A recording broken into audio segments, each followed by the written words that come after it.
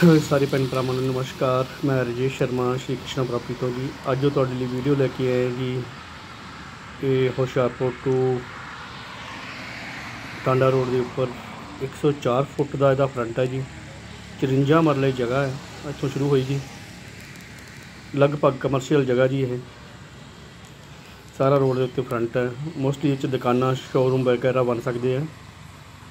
54 ਮਰਲੇ standard standard ਮਰਲੇ 30.25 ਗਜ ਦਾ ਮਰਲਾ ਹੈ, ਇਹ ਫੋਰ ਸੇਲ ਹੈ ਜੀ।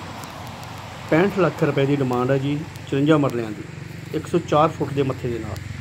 ਕਿਸੇ ਨੇ ਵੀ ਕੋਈ ਕਮਰਸ਼ੀਅਲ ਐਕਟੀਵਿਟੀ ਵਾਸਤੇ ਕੋਈ ਚੀਜ਼ ਲੈਣੀ ਹੋਵੇ, ਕਿਸੇ ਨੇ ਸ਼ੋਰੂਮ ਬਣਾਉਣੇ ਹੋਣ, ਕਿਸੇ ਨੇ ਕੋਈ ਆਪਣਾ ਵਪਾਰ ਖੋਲਣਾ ਹੋਵੇ, ਚਾਹੇ ਵੈਸੇ ਹੀ ਕਿਸੇ ਨੇ ਫਿਊਚਰ ਇਨਵੈਸਟਮੈਂਟ ਲਈ ਜਗ੍ਹਾ ਲੈ ਕੇ ਰੱਖਣੀ ਹੋਵੇ, ਤਾਂ ਉਹਨਾਂ ਲਈ ਵਧੀਆ ਆਪਸ਼ਨ ਹੈ ਜੀ। 54 ਮਰਲੇ 104 ਫੁੱਟ ਦਾ ਮੱਥਾ ਟੋਟਲ ਫੈਂਸਿੰਗ ਹੋਈ ਹੈ ਬਾਉਂਡਰੀ ਵਾਲ ਹੋਈ ਹੋਆ ਇਹ ਫੋਰ ਸੇਲ ਹੈ ਜੀ। ਪ੍ਰਾਈਸ ਜਿਹੜਾ ਹੈਗਾ ਜੀ 65 ਲੱਖ ਦੀ ਡਿਮਾਂਡ ਨੈਗੋਸ਼ੀਏਬਲ ਜਿਹੜਾ ਵੀਰ ਭੈਣ ਪ੍ਰਾਈਸ ਪ੍ਰਾਪਰਟੀ 'ਚ ਇੰਟਰਸਟਡ ਹੋਵੇ, ਮੇਰੇ WhatsApp ਨੰਬਰ 9316167007 ਤੇ ਸੰਪਰਕ ਕਰ ਸਕਦਾ ਜੀ। ਇਹ ਜ਼ਮੀਨ ਜਿਹੜੀ ਹੈ ਜੀ, ਇਹ ਬੁੱਲੋਵਾਲ ਤੋਂ ਟੁਵਰਡਸ ਹੋਸ਼ਿਆ, ਆਪਣੇ ਹੁਸ਼ਿਆਰਪੁਰ ਦੇ ਲਾਗੇ ਹੈ ਜੀ ਨੀਅਰ ਅਬਾਊਟ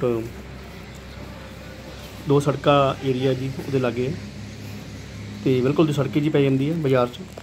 ਆਲੇ ਦੁਆਲੇ ਸ਼ਾਪਸ ਹੈਗੀਆਂ, ਵਧੀਆ ਵਧੀਆ ਪ੍ਰਾਪਰਟੀ ਹੈ ਫੋਰ ਸੇਲ ਕੋਈ ਵੀ ਵੀਰ, ਭੈਣ, ਭਰਾ ਇਹ 'ਚ ਇੰਟਰਸਟਡ ਹੋਵੇ ਹਾਈਵੇ ਦੇ ਉੱਪਰ ਮੱਥਾ ਆ।